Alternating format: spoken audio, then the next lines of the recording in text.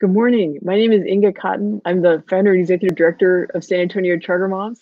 And um, these are Charter Moms chats that we do at 9 a.m. on weekdays. And it's a way to um, keep sharing um, resources. You know, so for a while we were talking a lot about distance learning and kids learning from home. And uh, now we're talking about summer activities and ways to keep your kids learning. And uh, today we have a special guest. We have Troy Peters, who's the music director of Youth Orchestras of San Antonio, also known as YOSA. Um, he's also orchestra conductor at uh, UTSA here in San Antonio. Um, he has two kids, Ronnie and Max. He says they grew up listening to classical music, but they are kind of into show tunes nowadays. that's how it goes, right? Um, and so Troy has written a guest post for us um, that's going to go live soon on our, our page about uh, lots of different summer activities because we want to give families inspiration um, about how you know how to try a new thing um, each day this summer. And uh, he wrote on the topic of classical music, which is something very dear to me. Um, if you all follow me on uh, Instagram, you've seen me like take my kids to the symphony, and um, you know we play classical music at home. Um, so, but I have a bunch of questions for Troy to uh, get his advice about introducing kids to classical music. Um, so, in his post, he talked about um, how to get young kids engaged with classical music. He said that one thing is they love to dance to music, and um, he said suggested having classical music play kind of playing in the background while you're sitting on the floor um, playing with your kids. So uh, troy i was wondering if you could talk more about how classical music is connected to dance and what do you, what do you think it is that um, gets kids moving um, you know when they're they're having playtime like the the young kids how they respond to classical music? Absolutely. Well first of all good morning inga. Thank you for having me. It's great to have a chance to talk to you and talk to everybody at san antonio charter moms um, you know, I think all music is connected to dance. That's the real thing to remember that that music for thousands of years has been about singing, celebrating, dancing, worshiping, uh, expressing our most primal and most powerful emotions. And so it makes sense that with any music, moving is one of the most powerful ways to get any of us to connect.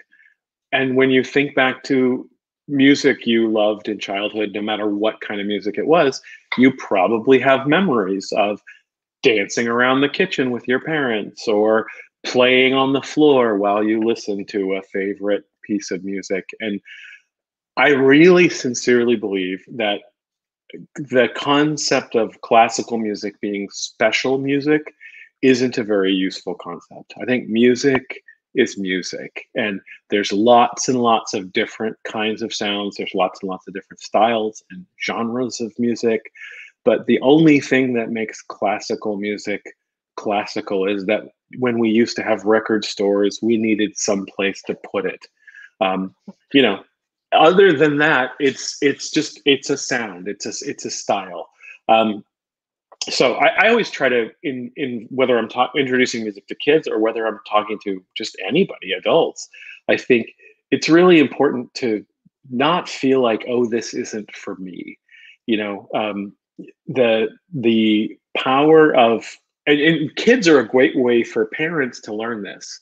If you put on Stravinsky's Rite of Spring, which you know is this piece, it's a piece from um, the 19 teens um, from you know 19 1912 i believe um, that um, when it oh, when it premiered in paris caused a riot in the theater. People were punching each other in the face and screaming at each other because it was musically revolutionary.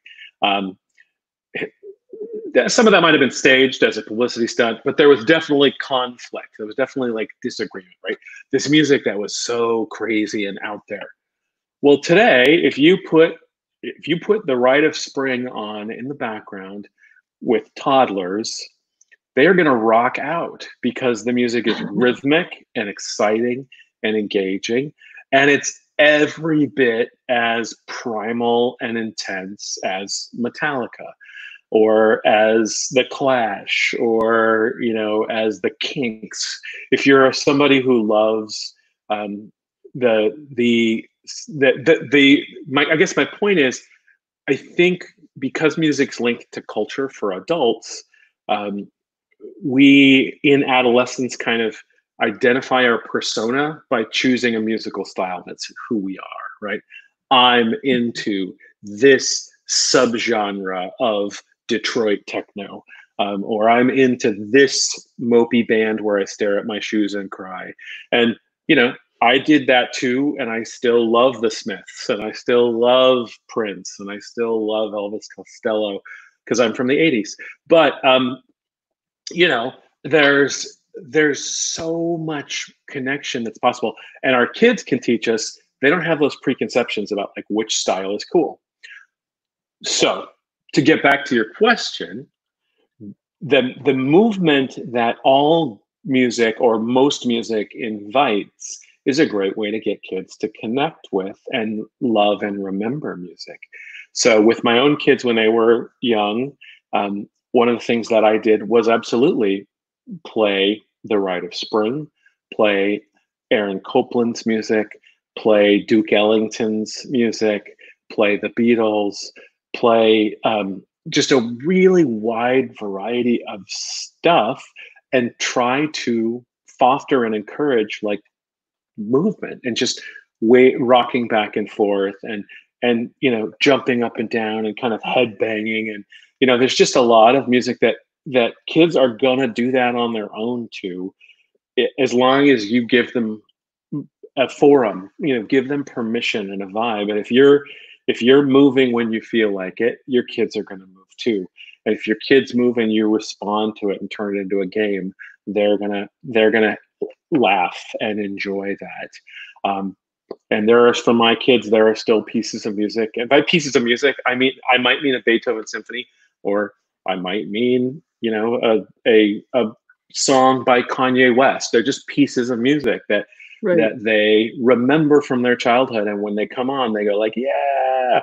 My my son Max, um, the the song uh, "We Are Young" by Fun was big when he was in preschool, and there was one time, maybe four years old, where he started singing along in his car seat and like rocking back and forth and we managed to get it on video and that then became like a piece of his identity like that's his song but they, my kids also have that with some pieces of classical music. And for me i think that's the most important thing with kids is to just have them fall in love with sounds. And the last thing i'd say on that is i think all of us you know have pieces of culture that we want our kids to love too because they matter to us right? We, we have movies that we love and we want our kids to love them too and when your kid loves Ferris Bueller's Day Off as much as you do, um, or your kid loves bed knobs and broomsticks, or whatever it is as much as you do, there's a bond there, right?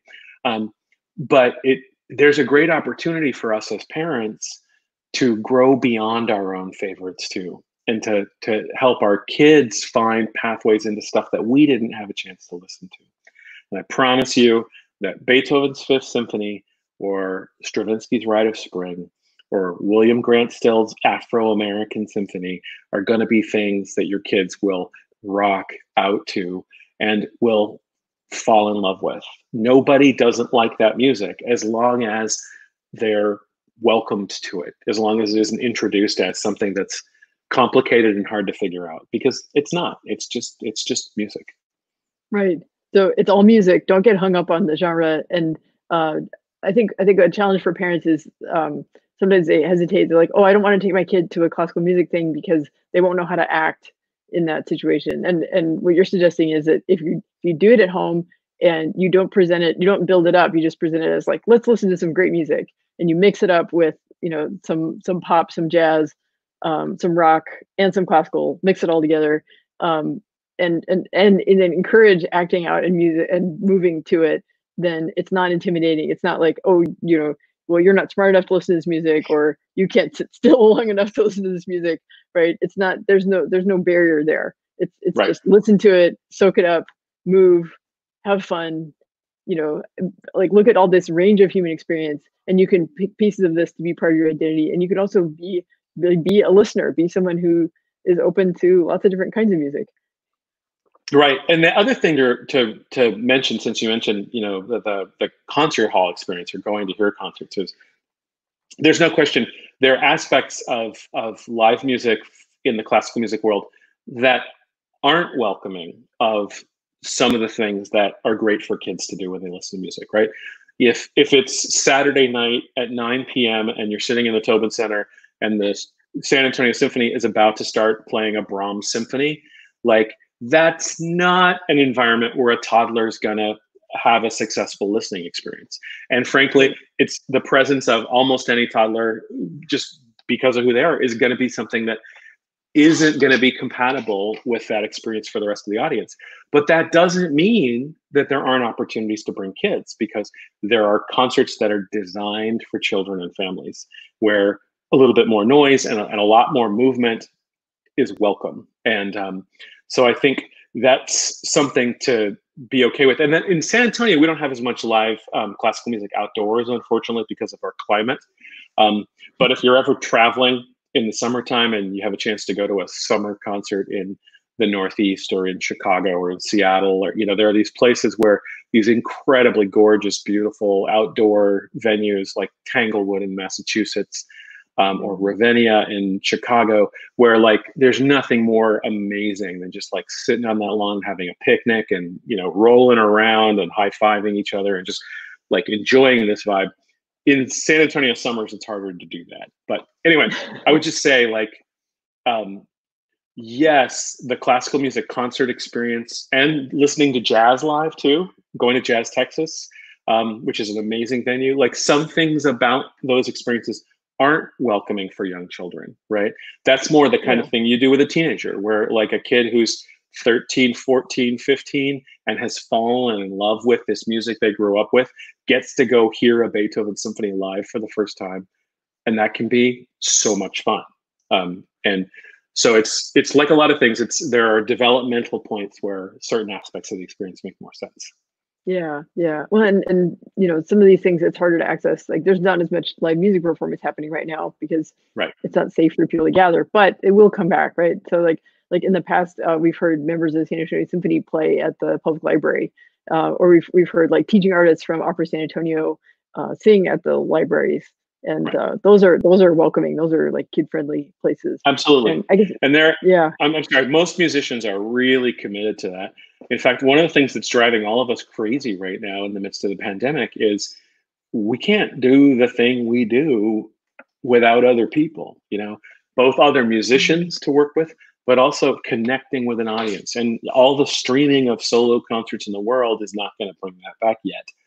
The good news is it's going to come back. It's a question of when, not if. Yeah, yeah, it will. And then um, one thing that you mentioned in the post, I'll, I'll add it to the description, is um, uh, uh, yosa.org slash plays on is where um, that you all have been doing things like interviews and I guess there, there's some performance material there and some things that y'all are working on. So that's sort of the the where families can access like the virtual offerings um, from Yosa, which but like you said, it's not the same as as actually you know performing in, in, an ensemble or performing to an audience and having that that human connection um i think okay going back to uh, what you said about um uh, we were talking about um like settings that um, are good for kids to be exposed to classical music. Um, and uh, in the piece you mentioned um, Peter and the Wolf, which is a like so let's see, that's by Prokofiev, right? And it's um, what's fun about that is that you know the, the different animals get personified by different instruments uh, but it's a great way to introduce the orchestra um, to kids. So i was wondering if you could talk more about that piece and or if there are other examples of of those kind of you know everyone in the orchestra gets their turn kind of pieces um, yeah you know, absolutely like good, good things for families to play for their kids at home Right. And I mean, a lot of us remember from our childhood, whether it's in general music class at school or going to a family concert somewhere or just at, being at home and hearing Peter and the Wolf is the one that mo- people remember the most. Um, there's another story called Tubby the Tuba that some people heard in their childhood that's more kind of a previous generation. It doesn't show up as much.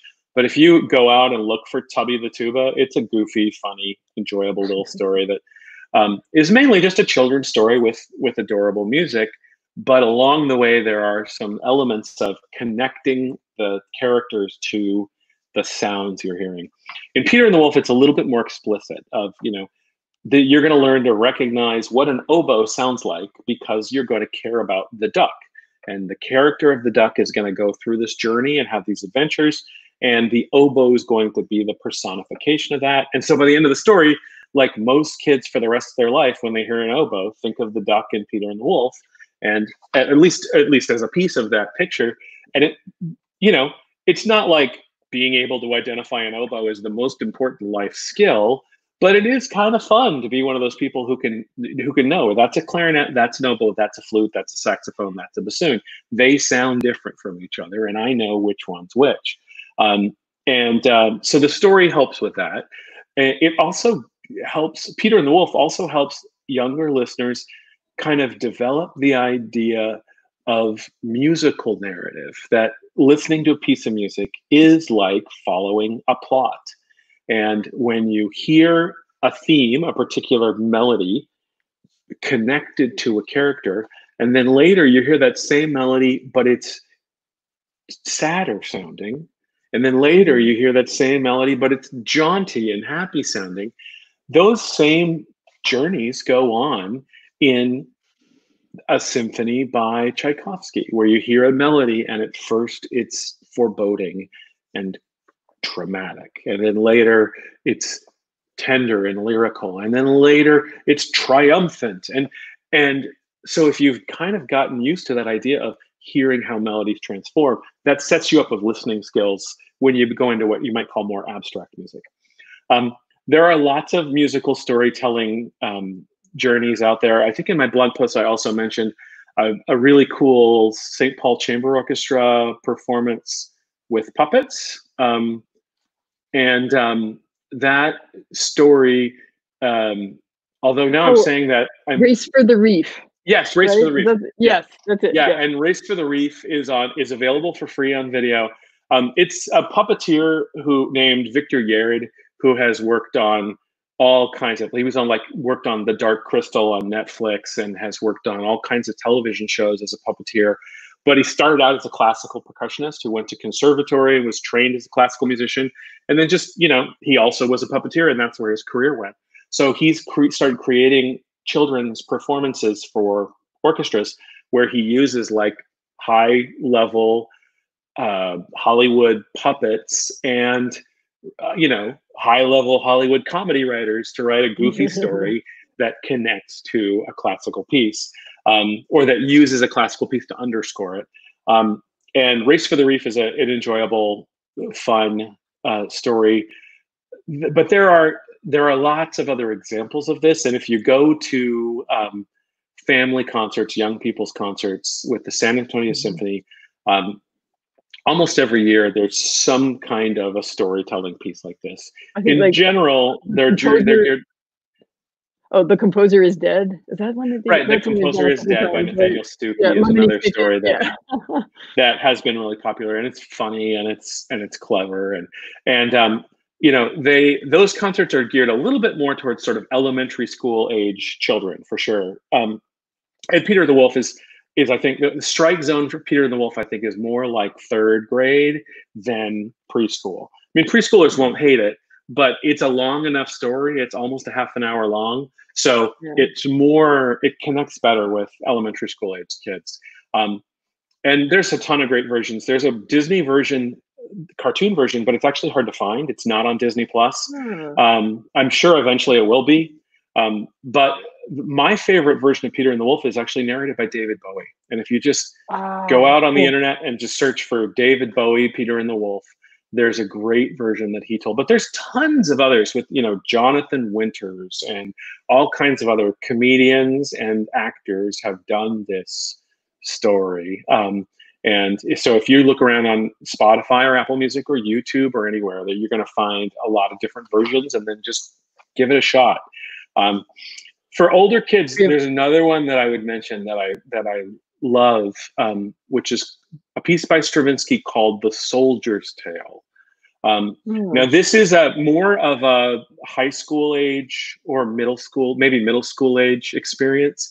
Um, but it's a kind of a Faust legend, a story about um, a, a somebody selling his soul to the devil to get special powers. And so he sells his soul to get a magic violin, and then he's in this battle with the devil. And and it's um, it's wacky and the music is amazing and it's often done with dancers too and so there's a lot mm. of great versions of that there's also versions where it's just the music the music's cool but you want to look for a version where there's somebody talking and telling the story um, and but there's a lot of those. And you know uh, the bottom line is um, that it's another way to get people connected to narrative.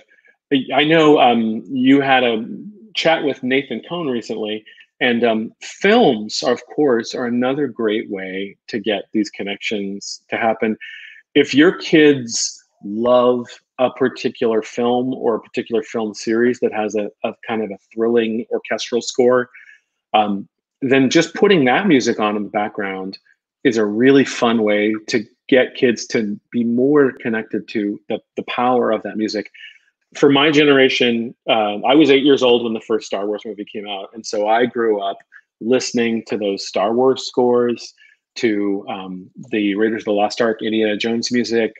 And, yeah. you know, that stuff was great. I think the Harry Potter scores, of course, a lot mm. of people mm. have fallen in love with that music. Um, yeah but there are a lot of things like that where the the the um, a lot of the Japanese animated films have really remarkable orchestral scores.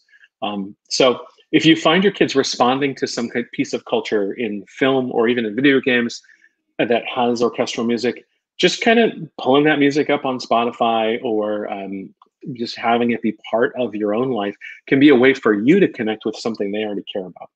Um, yeah, I my son loves science fiction movies. Yeah, right. My, my son loves science fiction, and he like he's he's gone around uh, like added to his playlist on Amazon Music like different um, themes from different film scores and stuff. And then like we'll go in the car, we'll plug in, be like, okay, it's Nicholas's playlist, put it on shuffle, and then like a film score pops up. But I was really like pleased and surprised that he was adding orchestral music to his playlist, not not just um, you know pop songs or or like video game background music. He likes that too. Right. Although we, we we've come across some video games that had actually really, really good jazz music. There's a game called Does Not Commute that has a really nice like modern jazz score. So there you go. yeah. Oh, there's a tremendous amount of great music all over the world in all kinds of places. And certainly video game composers have done amazing work. Some of the video games, some of the most intense video games actually have amazing orchestral scores. Um, and you know, some of the classic games of the previous decade like Halo or Skyrim um, there's a ton of these that have just Final Fantasy have really like symphonic, like uh, like huge dramatic um, kind of Carmina Burana kind of scores with right, chorus and orchestra and banging drums and you know it's I mean that one of the things that video games and films teach us is that orchestral music rocks. You know, like if you want yeah. power, if you want something to feel yeah. epic, like you, you know you, you don't go usually to a drum machine. You don't go usually to a synthesizer. Like you usually go to big giant chorus and orchestra and and it just it delivers a kind of impact.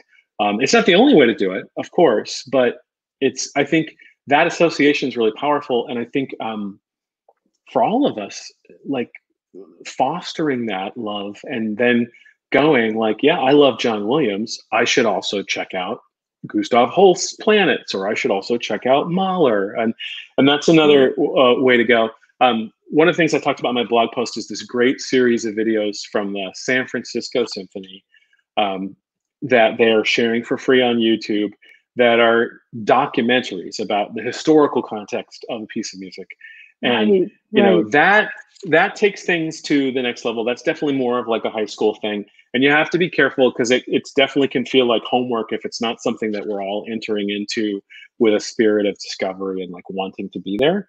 Um, but these these these films are really great to like learn what what was this composer going through when he wrote this piece but also from that to learn like what was life like in soviet russia in the 1940s and what did that mean what was life like in central europe when Napoleon was coming to power, and what did that mean? Um, you know, that those are kinds of things that, again, it's not usually something you're wrestling with in elementary school, but at a certain point, like getting that music and culture are intertwined, music and history are intertwined. If you want to understand American history and the civil rights movement, you know, learn about when Billie Holiday lost her cabaret license in New York and what that meant in terms of white supremacy and the oppression of Black musicians and what it led to in her own artistry. And, you know, like there's so many examples of that. Um, but because classical music has this several centuries long history, it it connects with that really powerfully. Right. Which is right.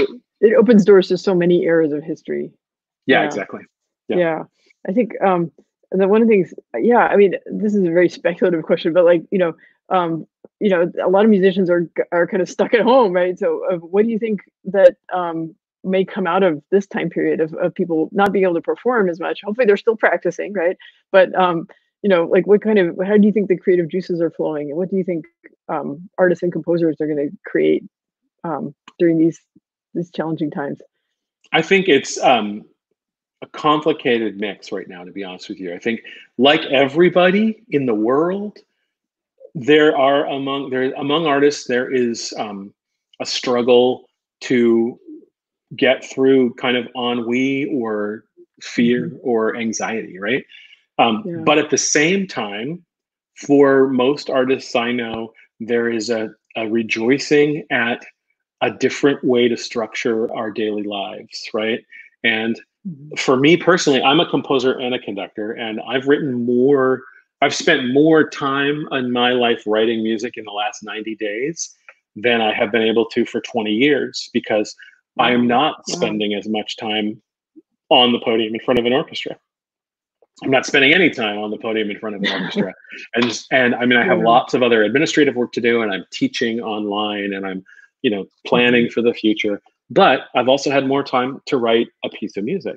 And so I think that it is true that composers are going to be creating more music. I know for a fact that performers uh, in classical music and jazz have been performing in new ways and and you know thinking about how they can create content that connects with people through online media um, Yeah. And honestly you know right now inga we're in this in this week where i think also every artist i know is reflecting more about um, power structures and racial oppression and the struggles in our country's history and our Yeah. struggles in our country's present. And i think that's going to inform people's work too in really powerful ways. There's a lot of people thinking about how can i use my art to make the world a better place and how can i use my art to to foster liberty to foster freedom to foster justice. Um, and and uh, so i think that that it's an exciting time. Um, the other flip side not you know the flip side is that we don't know what the future holds for orchestras and choirs right now. And just as one example i'm writing a piece for chorus and orchestra for the vermont symphony orchestra. I'm really grateful that they invited me to write this piece and taking poetry by a vermont poet who's a, an old dear friend of mine and then she wrote these beautiful nature poems and i'm setting them to music for chorus and orchestra the problem is we don't know when choruses are going to be able to sing again because all, having a hundred people standing right on top of each other and singing is is tough air. right now. Yeah. And yeah, exactly. Yeah. And so, um, you know, I don't know what the future of the piece will be, but I'm confident that Right. At some point we're all going to come back together, and this piece is going to come to life with real life humans. And um, so it's been exciting. it will be more precious when it finally does come to life, right? People will be so have such a deep thirst to Right. hear a, chorus sing again after. And- yeah, and music is a tremendous solace if if we use it right and that's one of the things i've been speaking with the yosa musicians i work with about a lot and something i've also talked with about with my own kids about is like you know i think during the pandemic that all of us have had hard days or hard afternoons or just moments where you're just like okay i feel trapped. I feel directionless. I feel lost.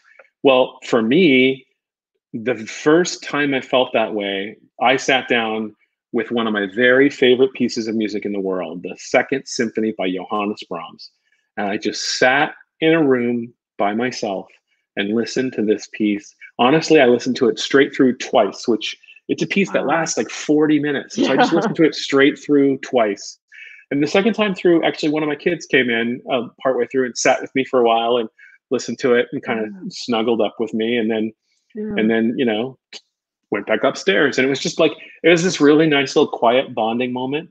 But music you love can bring you to a place of, of safety and consolation. And we want to give that to our kids, right? We want to foster a situation where our kids have that music that will, that they can turn to in, in tough times. Yeah.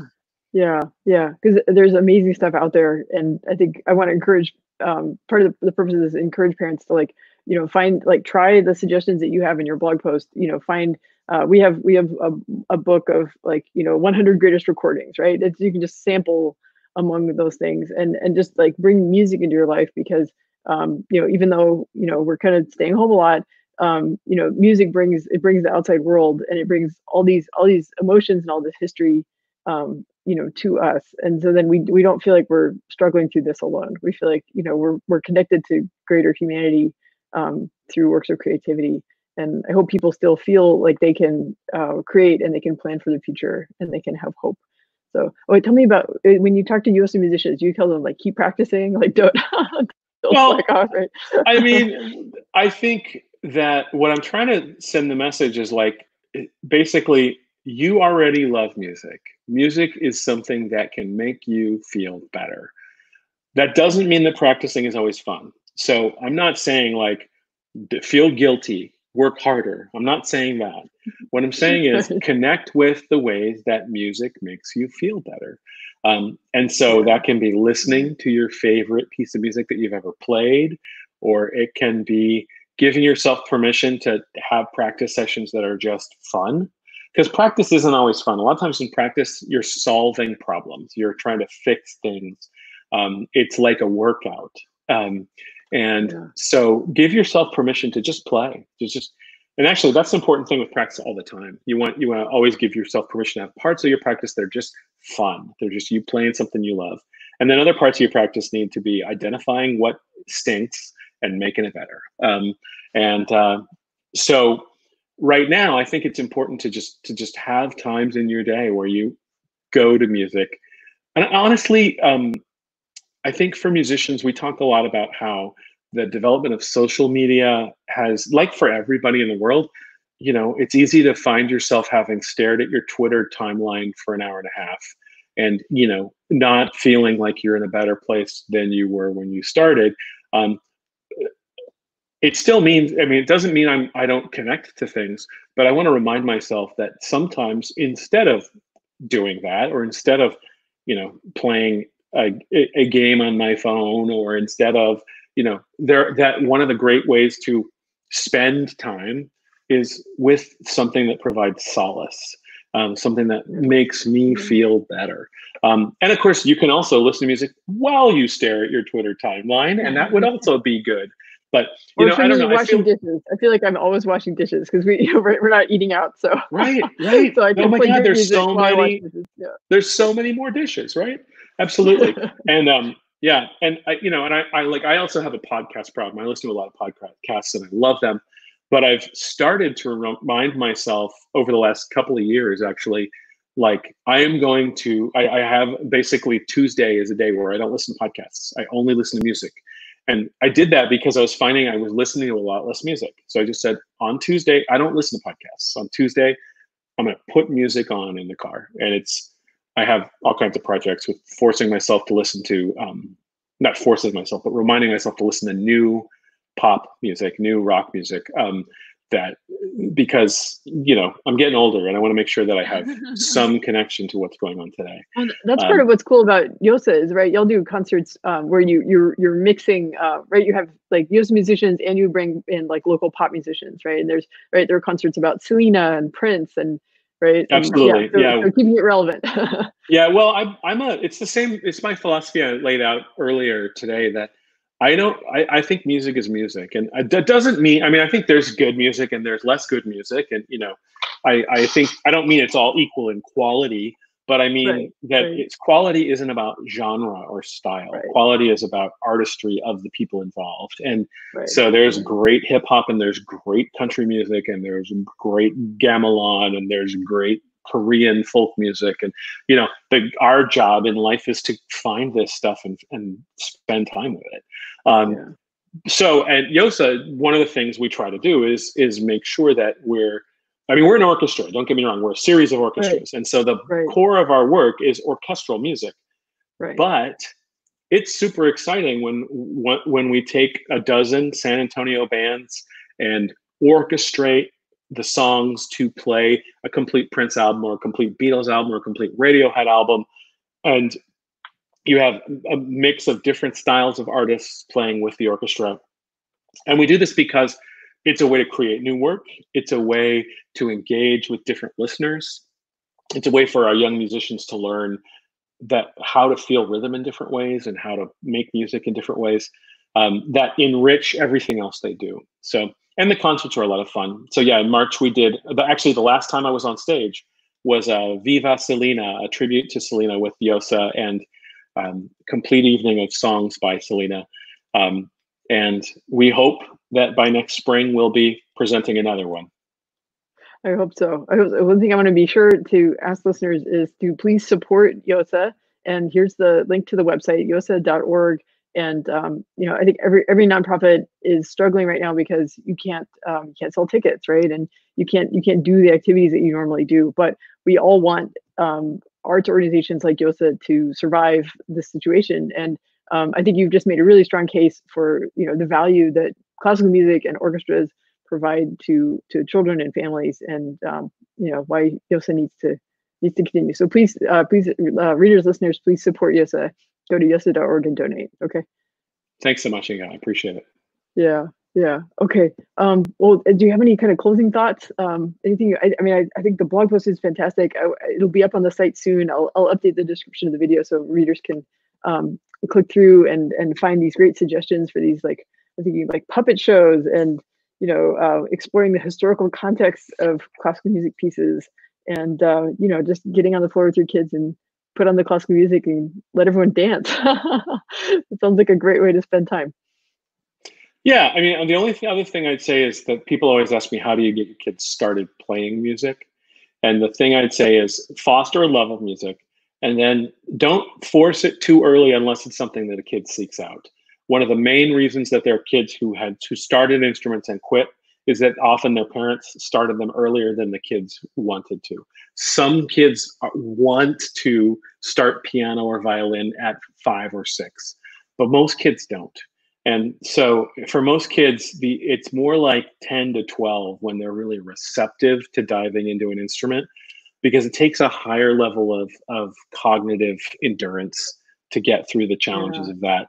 And um, and then you know support it and uh, there's a lot of different ways to handle things but i would just say like um, you know if you need support on resources for starting kids on instruments um, there you can certainly reach out to me my email is easy to find uh, through the yosa website and if you ever want advice or guidance on how to help a kid become a performer and learn more about in, about playing an instrument feel free to reach out Oh, that's a great offer. I really appreciate that. I think I'm sure there are members of the charter moms community, moms and dads who, um, you know, are, are wondering about that for their kids. And um, yeah, that's a. I think I think hoping planning for a bright future is a good way to uh, cope with these circumstances. You know, so like picture picture yourself or in you know at a podium conducting an orchestra again. You know, students can picture themselves you know on stage playing with the orchestra again. That uh, these times these times we'll get there. We'll get there. Yeah. Yeah, Absolutely. Great. Okay. All right. Well, thank you so much. Um, we're going to close off this video, and uh, uh, I look forward to sharing it with with readers, and we'll see um, how people comment and how people respond. So, thanks so thank much. Thank you so much. Okay. Bye.